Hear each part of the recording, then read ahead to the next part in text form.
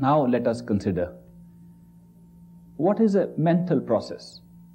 How does the human mind function?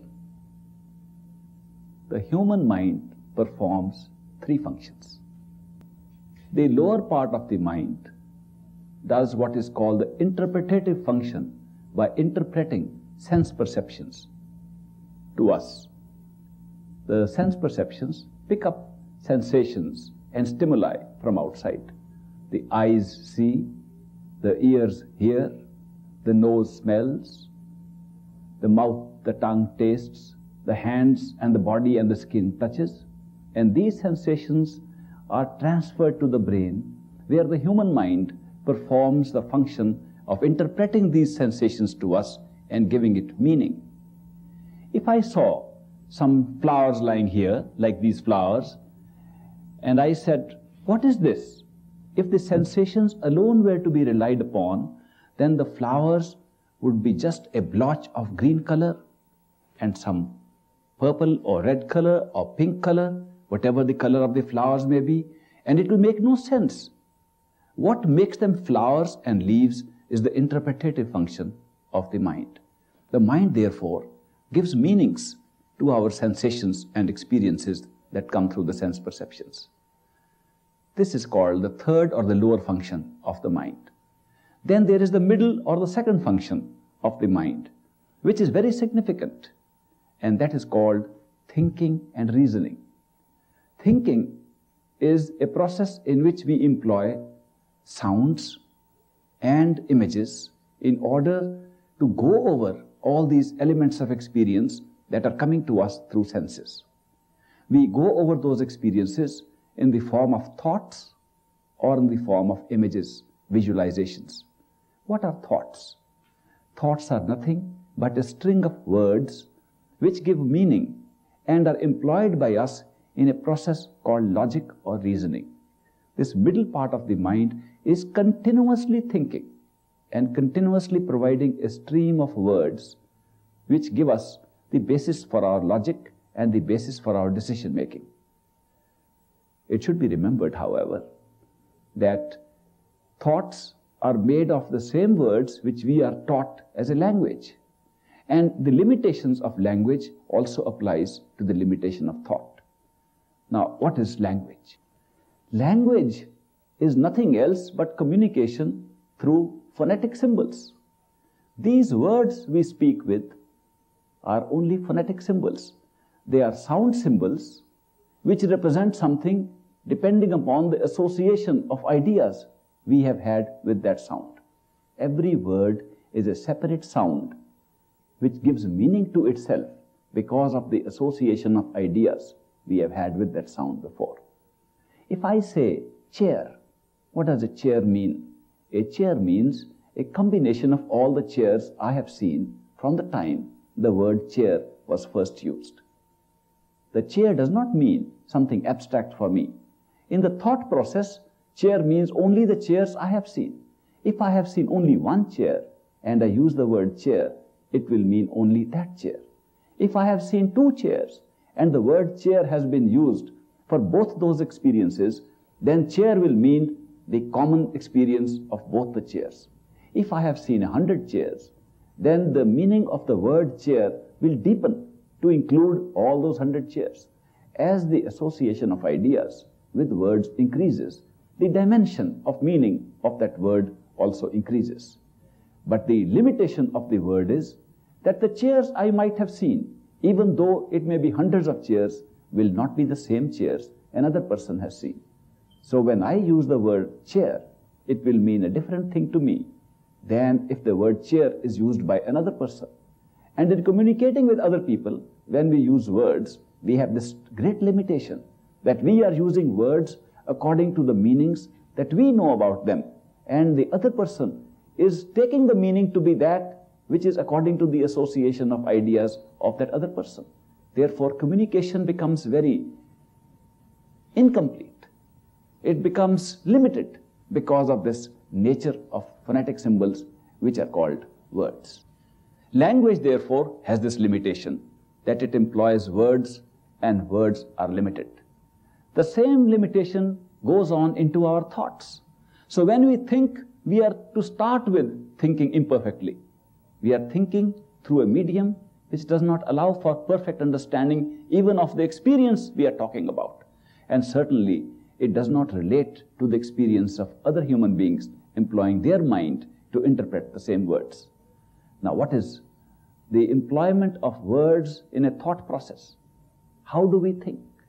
We think because we use these words in sentences and then use the sentences to follow one after the other to create a logical sense. When we use logic, we think that we have found a sensible thing out of our thoughts. We are always happy when we find a decision or a conclusion or an inference based upon these thoughts which we recognize as having flowed from the logic we have used. Now, what kind of logic do we use? All of us in our thinking process use two kinds of logic. There is, first of all, the deductive logic in which we set the premise by using certain statements or, or sentences. And those sentences or statements become the basis on which we are thinking. Then we employ more sentences in order to come to a conclusion. For instance, we may describe a particular wall as a wall which has a pink color. And we say, this is a pink wall. The whole of this wall is pink. This portion of the wall in the center is also part of the wall. Therefore, it must be pink. This is a typical case of the deductive logic which we use every day. We will notice that this kind of deductive logic does not give us any new information, does not give any new knowledge. We remain certain about what we know, but we know what we already knew. Therefore, deductive logic has never added to our knowledge and has never provided anything fresh in our thinking process. This is a big limitation in the use of deductive logic. On the other hand, we have the second process called the inductive logic. Now, what is inductive logic? In using inductive logic, the mind employs a method of going beyond the known premise. If I go back to the same example of the wall, which is colored pink, and I say this whole wall is colored pink, and it goes around the corner, which I cannot see, but being the same wall, I induce that it must also be pink. This kind of inductive inference that we draw from inductive logic always suffers from the great infirmity of uncertainty. I can never be sure. Therefore, when we use this part of logic in our mind, we are creating an uncertainty and a doubt automatically. Therefore, uncertainty and doubt come automatically when we try to gain more knowledge through the reasoning process in our mind. The biggest difficulty is that thinking has never given us a sense of certainty. Thinking has given us certainty only by deductive process, which means we can be certain of an experience of which we are already certain. And if we have a new experience and we want to analyze it through logical process and we go into the inductive process, we are left with an element of doubt and uncertainty. Have you ever considered that the more we think, the more doubts we create? You can try it out. You think over a particular subject and see how much doubt you have. Then keep on thinking of the same subject over and over again. Try to go beyond the subject, and you will find more and more doubts and more and more uncertainties creep up. Therefore, this kind of logic and this kind of use of the thinking machine is beset with the problem of doubt and uncertainty. This doubt and uncertainty affects all our relationships. For one thing, it takes away the experience of love and does not allow us to have that experience as if it were an experience to stay with us. We have a flash of experience called love, and then thinking comes in, and this thinking mind destroys the experience of love. I will revert to it a little more, but let me tell you about the top part of the mind, the first part of the mind. What is that doing when the middle part is thinking? The top part of the mind is supposed to be creating. It is called the creative mind. The creative mind is nothing but an assembler of elements of perception in new patterns and new graphs. so that the new diagrams, patterns, and graphs which come up through the creative mind look like something new. It is not really new. It is more of a craftsmanship rather than an artist, an artist's work. So when we talk of the creative mind, we are really talking of that part of the mind which is busy assembling different elements of perception and giving it a new shape and a new pattern. So here we have three distinct divisions of the human mind. The lower part, which is doing sensing by interpreting sense perceptions. The middle part, which is thinking by using words and language and using images where words fail, and thereby using the logical process. And by using the inductive logical process, creating an element of doubt and uncertainty. And there is the top part of the mind, which creates a different kind of pattern and diagram from the elements of perception we call creative. The point I wish to make about the mind is that whether it is doing perceiving or sensing, or it is doing thinking or reasoning, or it is doing creating, it is only functioning within the framework of time, space, and causation. You will notice that you cannot have any thought except with duration. You cannot have any sense perception except the duration and space. You cannot have any creative effort or craftsmanship except in space and time. Therefore, all the functions of the mind are confined to time, space, and causation. They must follow the law of a beginning, a middle, and an end, and they must follow the law of finding space for itself, and they must follow the law of having a cause and an effect relationship. This is a great limitation on the mental process. These limitations, as I will show to you, do not apply to the functioning of the human soul or the human spirit, which alone is responsible for the experience of love. Love does not confine itself to time, to space, and does not follow any laws of cause and effect. Love transcends them. It comes from nowhere. It does not take any duration to take place. We get the feeling of love. We cannot say it took five seconds to happen, or it took one minute to happen, or it took this duration or that duration to happen. It is timeless, spaceless, and causeless.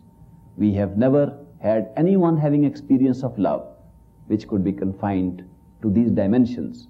These dimensions are reserved for the human mind.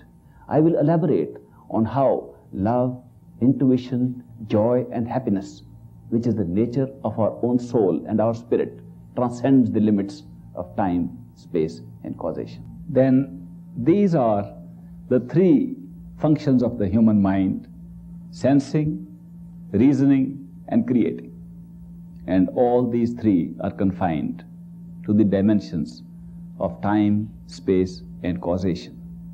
What are the functions of the human soul or the human spirit, which is timeless?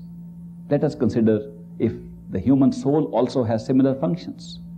Yes, the human soul also has three functions to perform, and these are called intuition, love, and joy and beauty.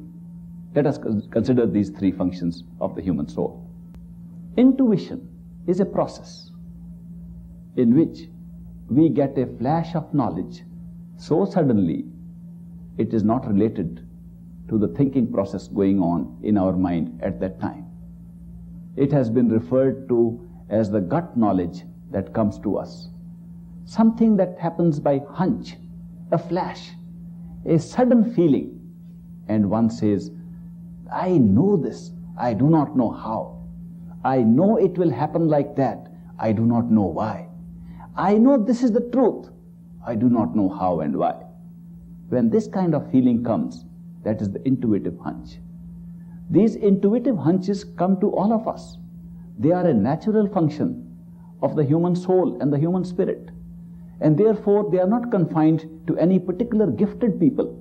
You don't have to be a yogi or a sadhu or a mystic to have intuitive experiences. We all have experiences of these sudden flashes of knowledge which come from nowhere with no space and no time. This intuitive experience is very reliable it carries its own certainty with it. And to that extent, it is different from the mental thought process that gives us a reasoned inference by saying this is A is B, B is part of A, therefore B is A. I mean, those old syllogistic inferences that reasoning has provided to us do not carry that certainty which gut knowledge, that sudden hunch, carries with it. The second function of love is also equally spontaneous. It does not depend on time, space, or the nature of our thinking at that time. It happens so suddenly. It just is a feeling. It comes from inside us. It comes from nowhere. We do not know where it came from, what was responsible for it. We suddenly find we have fallen in love. And this sudden experience is as dramatic in its suddenness and spontaneity as the experience of intuition. Does not take time or space or follow any laws of cause and effect to happen. This then is the second function of the human soul or the human spirit. The third function, which we have described as the aesthetic function or the function of beauty, mingles with its joy. And this beauty and joy on any experience is also carrying with it the same spontaneity that love and intuition carries. When we feel that something we are watching is beautiful, when we get a sensation of beauty, it follows the same principles of spontaneity, of no time, no space, no cause and effect, like love and intuition. It carries with it a sensation of joy which runs through all these experiences. Therefore, when we have the soul or spirit of a human being functioning, we have these three functions going on, and all of them are outside the realm of time, space, and causation. We cannot see something beautiful and say it took certain time for the beautiful experience to appear. The beauty, sense of beauty, takes no time to appear. The experience may be in time and space, but the feeling and experience of beauty is not confined to time and space. How is it that these experiences can exist without time and space? They exist without time and space because our soul, the immortal spirit, the immortal consciousness, the immortal spirit within us, the immortal part of ourself, does not lie within time and space. It goes beyond time and space. So when we have these experiences of intuition, love, and beauty, mingled with the feeling of joy, these are experiences that do not take place in time. We have, on the other hand, these experiences of thought and sensing, perception, reasoning, creating, craftsmanship, which all take place in time. So the main distinction between the mental process and the process of spiritual or, or soul experience is the difference between the framework of time, space, and causation one requires and the other does not. But we have constantly mixed up the two things. We have said, no, it is possible to have a, a mental experience timelessly. We can have a sudden inference taking place in a flash of a moment. That is not truly timeless. If our mind is alert and becomes like a computer and reduces the time for coming to an inference, coming to a logical conclusion, it still operates in time. Less time or more time still means time. In the case of love, intuition, joy, and beauty, there is no time. There's not even a flash of a second. A nanosecond is a billionth part of a second. If you observe your intuitive flash, your intuitive hunch, you will notice it does not take even a billionth part of a nanosecond. Therefore, it is free from time. So, time distributes the mental functioning from the truly spiritual or soul function. Now, I am going to concentrate more on talking about love because love is that function which generates all other functions. Love is the core of consciousness. Love is the center part of our soul. If there were no love in the soul, we would really have no consciousness. Because what is consciousness? Consciousness is the ability to be aware. We get awareness when we turn our soul on turning our soul on is like starting to use the process of love within it. When the process of love functions in human consciousness, it needs something to be conscious of. It needs something to be aware of. You cannot have consciousness in absolute terms because what are you conscious of if you have only consciousness and nothing to be conscious of? It would be a, a case of stating the contradic- contradictions. Therefore, when you say you have consciousness, you are automatically implying you also have something to be conscious of. This creative power of the soul to be conscious of something is created because of the love that lies in the center of the soul. It is love that reaches out to an experience and makes consciousness conscious of something. And whatever consciousness is conscious of becomes our experience. This whole world, the universe around us, is created from this single source of love. Love that creates consciousness, consciousness that needs something to be conscious of, and that which it is conscious of becomes the creation. We call love the creator. We call love God. Why? Because love has led to consciousness that needs something to be conscious of. And whatever it needs to be conscious of becomes creation. Therefore, it is appropriate to consider of love as the creator, love as the very basis behind consciousness, love as the core of inner consciousness. Now, when we talk of love in these terms, we are giving it a divine meaning automatically. Is there then a divine love separate from human love? I do not know any distinction between one kind of love and another. I think love is love. And I do not believe that there is any love outside of the human system. I think divinity comes within the human system. Have you ever seen any divinity outside of human system? Have you ever seen any divine experience which a human being did not have? When we talk of divine experience, who has that experience? The human being. Everything in nature, everything in creation, every speck of dust and every leaf of every tree is divine because of the human being experiencing it.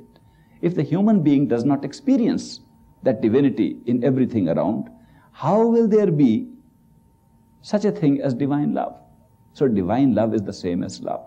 When it is addressed to the Creator, to within ourselves, it becomes divine.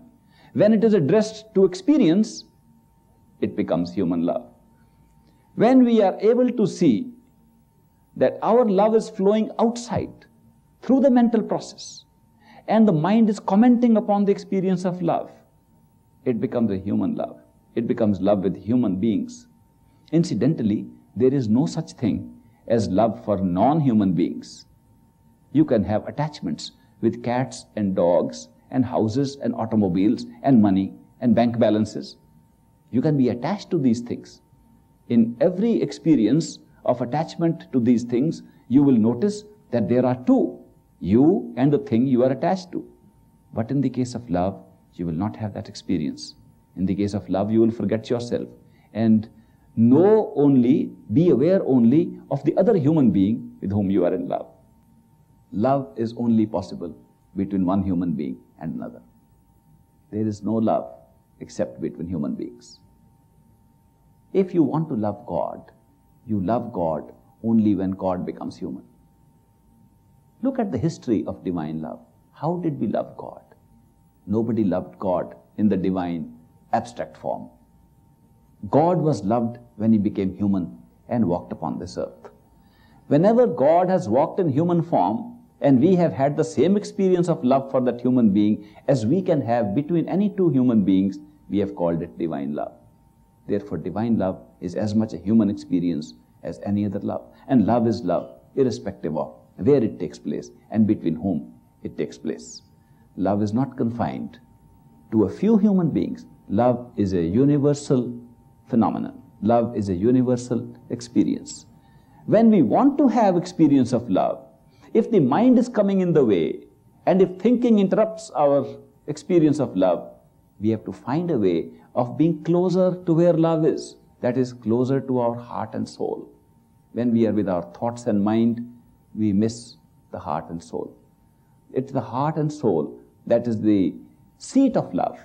If we want to have experience of love, we must must get closer to our own selves. What is our self? Our self is nothing else but our own soul, our own consciousness, our own insight. When we are within ourselves, we are close to our own soul. When we are close to our soul, we are close to the fountainhead of love. The closer we get to our own soul, the closer we are to the fountainhead of love.